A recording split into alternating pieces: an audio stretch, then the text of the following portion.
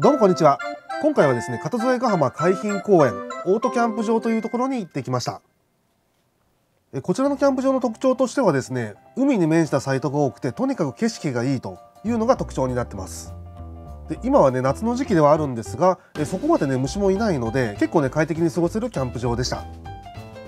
でなかなかですねこういったキャンプ場を360度で紹介してるっていう動画がね少ないので、え今回はね初めての試みとしてこういったことをやってます。もし好評なようであればですねこういった動画を、えキャンプ場ごとに作ってみたいなと思ったりもしてます。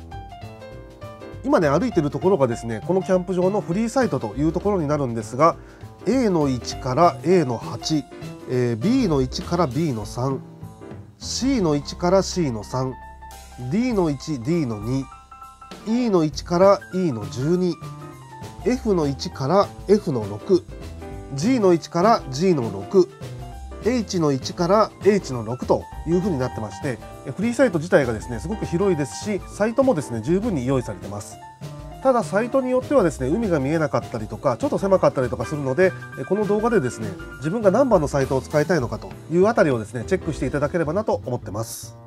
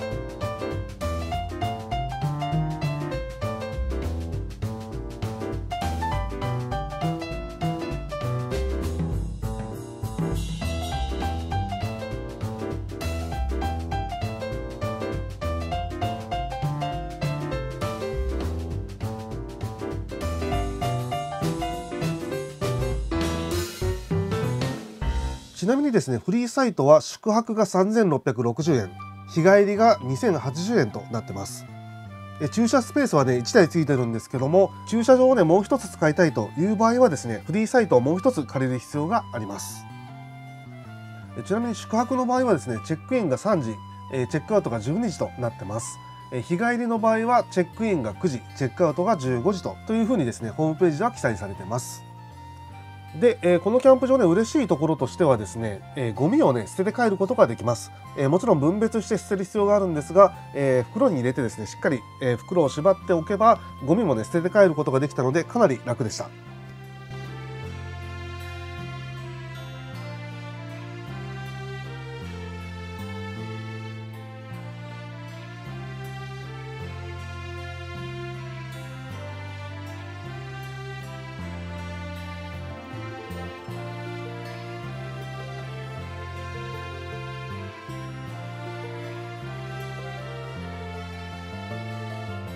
トイレとシャワーそしてランドリーとゴミ箱という設備があるんですが温泉もですね併設されてます。温泉はですね中学生以上が520円4歳以上が300円。定期日は毎週水曜日。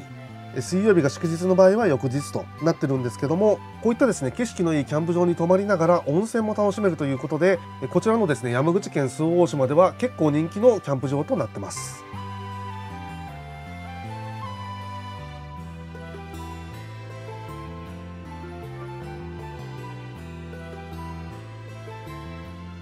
でこちらがですね電源サイトとなるんですけども電源サイトもね結構広いです。1番から26番。これがですね海沿い側になります。そして27番から40番。これがまあ山沿いというほど山沿いでもないんですが道を挟んだ向かい側がこちらの27番から40番となってます。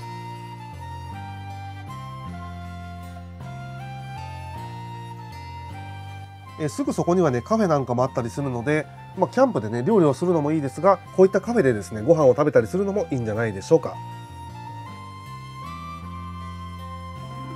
で個人的におすすめなのはこの電源サイトのね24番から26番ぐらいですかね。一番端っこになるんですがこの辺はですね海が見えてかなりおすすめだなと思いました。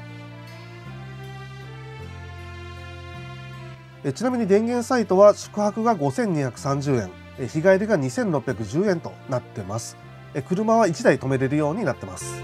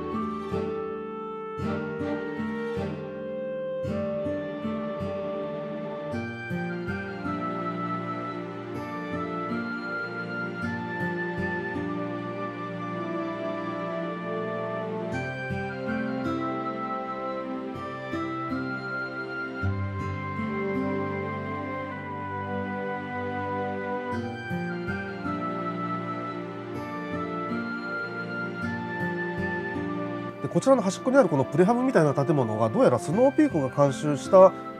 場所なのかな？まあここにもね一応泊まれるようにはなってるみたいですまあ、ここのキャンプ場がですねコテージもあるんですがこんな感じでですね完璧なオーシャンビューを楽しめるので、まあ、これはこれでありかなという感じがします。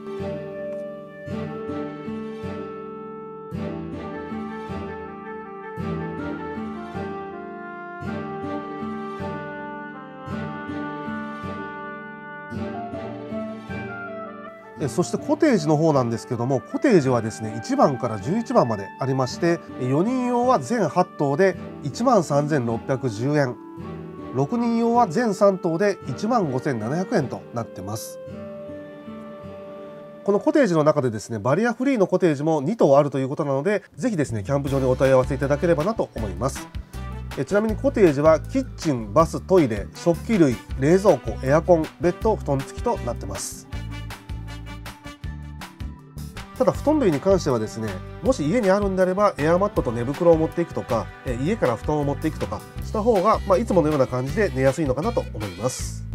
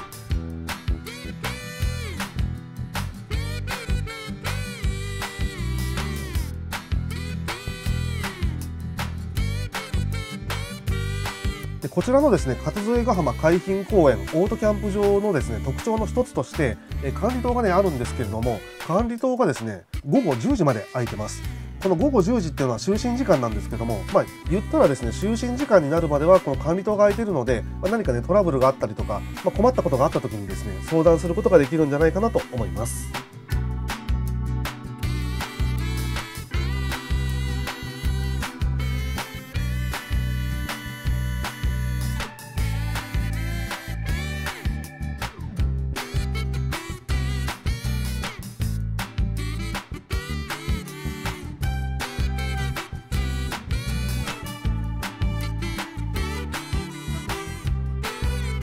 で管理棟の中ではですね薪を売ってたりバーベキューコンロの貸し出し、えー、あとですね氷やアイスクリームの販売、えー、そしてね漫画もありましたね。で一番いいなと思ったのが扇風機の貸し出しです、えー、こちらはね1泊300円で貸し出してくれるんですが扇風機があるとねすごくね涼しくて良かったです。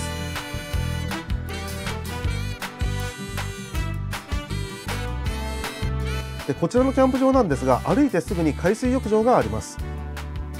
まあ、すごくいいですよね。例えばキャンプをしに行って海水浴も楽しめるキャンプも楽しめる温泉も楽しめるみたいな。で浜辺であれば、まあ、ゴミはねもちろん持ち帰る必要がありますが22時まで花火をすることもできるそうです。ということで今回は360度カメラで片添ヶ浜海浜公園オートキャンプ場をご紹介してみました。今年の夏の思い出作りにぜひ片添ヶ浜海浜公園オートキャンプ場に行ってみてはいかがでしょうか。それでは